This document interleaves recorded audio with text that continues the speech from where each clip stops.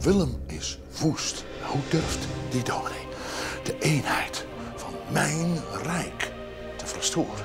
Het zijn bekende woorden bij de inhuldiging van een Nederlandse koning of koningin. Zo waarlijk helpen mij. God almachtig. Maar wat stelde God, Nederland en Oranje eigenlijk voor in 200 jaar koninkrijk?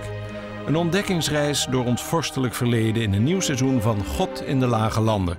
Vanaf zaterdag bij de EO op Nederland 2.